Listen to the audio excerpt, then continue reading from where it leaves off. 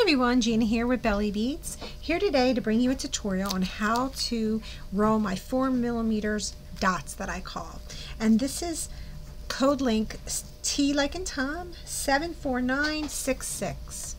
What this means is if you purchased a um, pack of my paper bead strips, it will link you to this tutorial. A lot of beginners um, I like to help out on how to roll my paper strips.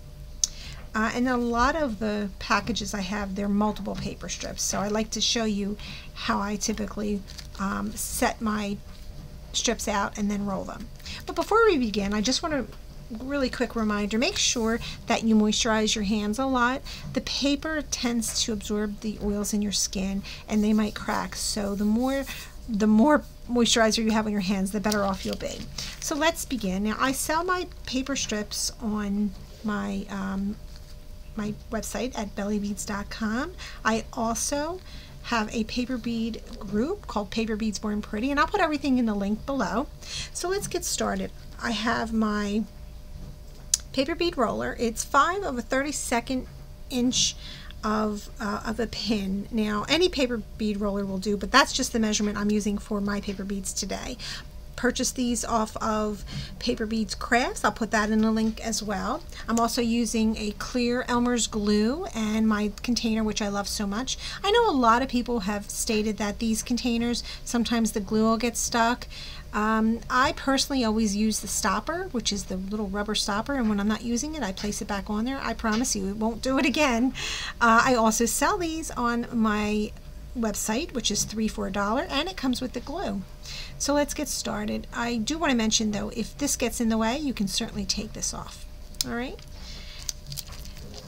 Now I package my paper strips all in these bags and they remain straight. So that's a nice thing. They're not curled up when you get them.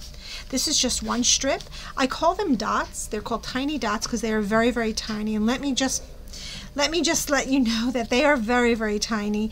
Um, so just take your time with them and make sure that you have enough light on it to roll them. These are really great for little spacers uh, on your paper beads, um, on your jewelry pieces.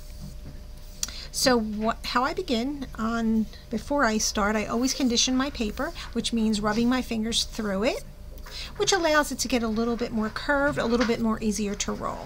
Grab my paper bead roller, there's a little slit right there in the paper bead um, roller.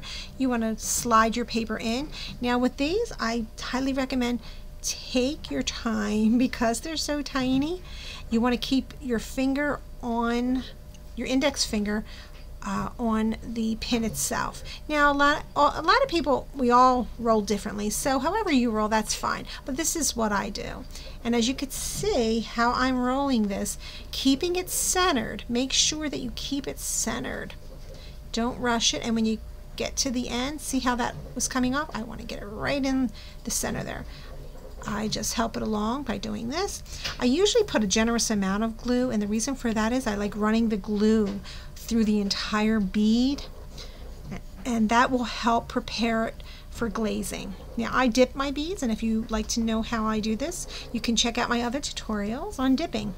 Now look at that. I think that is the most tiniest bead ever. The, the, it's really ironic how it got its name. I was creating jewelry bracelets called Morse Code, and I also have a tutorial on that. You should check that one out. I've used these for those special messages, and they're also um, they were called dots and dashes and I will show you how to do the dash in my other tutorials but these were really great and um, I'm gonna push this off never pull your bead off because it will unfold. Push it off nicely and look at that. Is that the tiniest bead you've ever seen? and it's very, very round. And that's my four millimeter dot, I call it. All right, so if you like this video, you can give it a thumbs up, please, and subscribe. That really helps my channel. And I invite you to uh, my paper bead group, Paper Beads Born Pretty. All right, so have fun. Thank you very much, and thank you for watching my channel.